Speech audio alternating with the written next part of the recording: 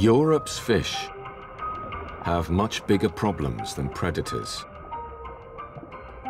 In its cold coastal waters, three-spiked stickleback are beginning a perilous journey upstream. They've spent two years in the sea. Now they've reached adulthood. An innate urge to fight the current is taking hold. The stickleback are heading to their spawning grounds in the freshwater rivers and streams of Europe.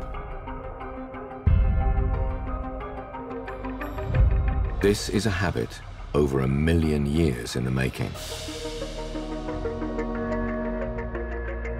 As adults, they are now 10 centimeters long, easy prey for endless predators.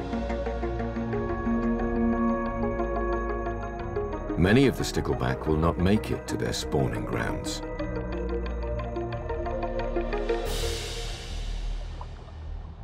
But their species depends on the brave few that succeed.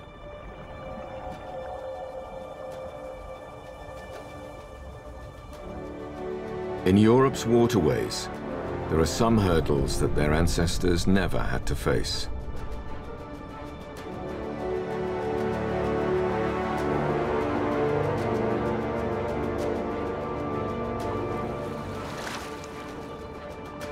They've reached a lock.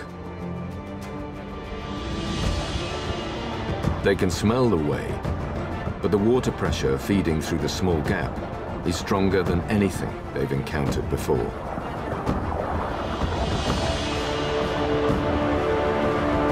The call upstream forces them forward. One by one, they fight the current. But only some are strong enough.